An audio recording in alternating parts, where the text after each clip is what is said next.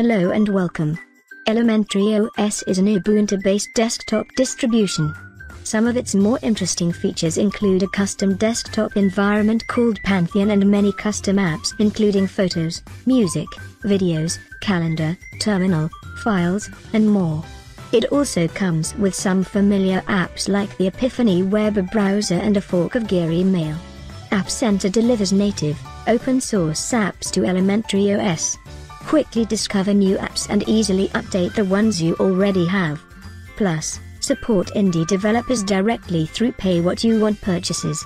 Elementary OS ships with a carefully curated selection of apps that cater to everyday needs, so you can spend more time using your computer and less time cleaning up bloatware. Our code is available for review, scrutiny, modification, and redistribution by anyone. We don't make advertising deals and we don't collect sensitive personal data. Our only income is directly from our users. We're built on Linux, the same software powering the US Department of Defense, the Bank of China, and more. Elementary OS 5.0 Juno. Build and release your apps for the upcoming version of Elementary OS with this early preview.